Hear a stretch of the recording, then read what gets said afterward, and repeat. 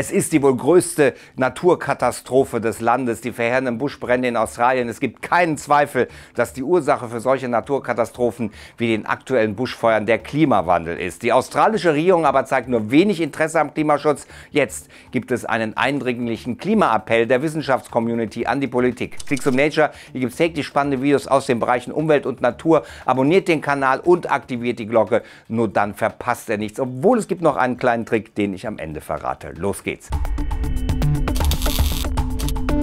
Herzlich willkommen. Mittlerweile sind es rund 12 Millionen Hektar Land, die durch die verheerenden Buschbrände in Australien seit dem vergangenen September verkohlt sind. Das entspricht etwa einem Drittel der Fläche von Deutschland. Dazu kommen mindestens 33 Todesopfer und mindestens eine Milliarde Tiere, die in den Flammen gestorben sind. Fachleute sprechen von der größten Naturkatastrophe, die das Land je gesehen hat. Erst am vergangenen Wochenende hatte sich die Situation weiter verschärft. Ein riesiger Buschbrand drohte durch die gewaltigen Winde nah an die Vororte der Hauptstadt Canberra heranzurücken. Dazu der örtliche australische Regierungschef. Das Feuer wächst, es kann unvorhersehbar werden. Doch die australische Regierung guckt weg und verharmlost. Zwar hat sich der Premierminister Scott Morrison dem öffentlichen Druck gebeugt und leugnet zumindest nicht mehr den menschengemachten Klimawandel. Dennoch bezeichnet der Premierminister die Klimaschutzbemühungen seiner Regierung als ausreichend. Eine Farce.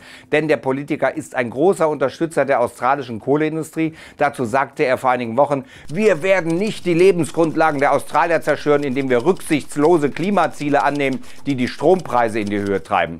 Er gilt als Handlanger und Marionette der sehr einflussreichen Kohleindustrie des Landes und auch das einflussreiche Unternehmen News Corp von Rupert Murdoch unterstützt diesen Kurs. Seine Medien verschleiern die Krise, in der das Land steckt und so sind die Buschbrände in Zeiten des Klimawandels weltweit Thema. Nur in Australien selbst wird die Lage heruntergespielt und übrigens in Amerika und England kommt jetzt. Zuletzt hieß der Titel eines Kommentars in der Melbourner Zeitung Herald Sun, Erwärmung ist gut für uns. Und nur by the way, News Corp dominiert die Berichterstattung in den drei großen englischsprachigen Ländern Amerika, Großbritannien und Australien. Da muss man sich über nichts mehr wundern. Fakt ist, dass Australiens Emissionen seit 2015 kontinuierlich gestiegen sind. Klimaschutz ist der Politik des Landes egal. Das offenbarte sich auch bei der Klimakonferenz in Madrid, wo Australien als heimlicher Bösewicht das Feld verließ. Denn genau wie Brasilien wollte das Land alte Emissionsgutschriften aus dem Kyoto-Protokoll mitnehmen. Das wäre eine absolute Katastrophe und würde den Ländern ermöglichen, noch viel mehr CO2 in die Atmosphäre zu pusten, als gut wäre. Rund 250 Forscherinnen und Forscher aus Australien sind das jetzt satt. In einem offenen Brief appellieren sie an die Regierung, die Treibhausgasemissionen, Zitat, dringend zu reduzieren.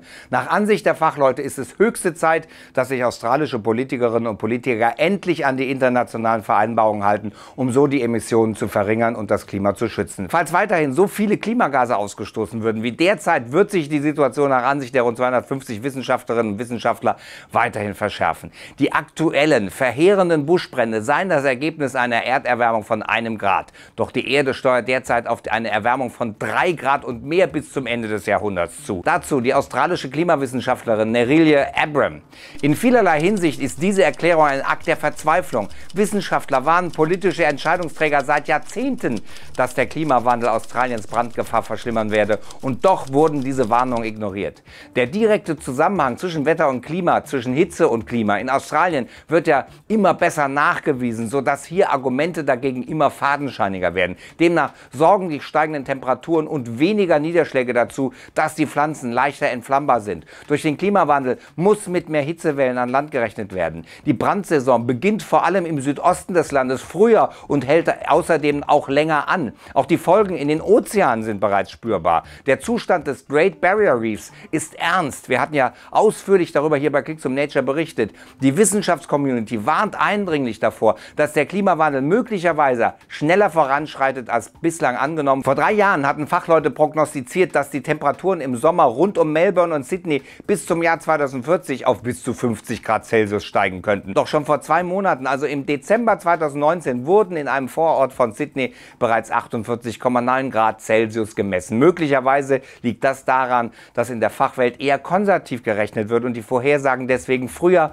eintreten als ausgerechnet. Der Appell der Wissenschaftscommunity ist gegen die australische Regierung gerichtet, die erst im Mai 2019 wiedergewählt wurde und aus liberaler und nationaler Partei besteht. Erst vor einiger Zeit hatte sie die Erschließung eines riesigen Kohlevorkommens genehmigt, an dem auch Siemens mit Bahntechnik beteiligt ist. Dazu die Klimawissenschaftlerin Katrin Meissner aus Sydney. Wie viel schlimmer muss es werden, bevor die Wissenschaft nicht mehr ignoriert wird? Der Mangel an visionärer Politik zum Schutz unseres Landes und der Menschen bringt uns nun dazu, die Stimme zu erheben. Alarmierende Warnung, Deutschland trocknet aus. Anklicken, hier anschauen und Klicks um Nature abonnieren. Und wenn ihr uns unterstützen wollt und die Videos vorher bekommen wollt, dann werdet Kanalmitglied. Wir können hier wirklich jede Unterstützung gebrauchen. Bis dann.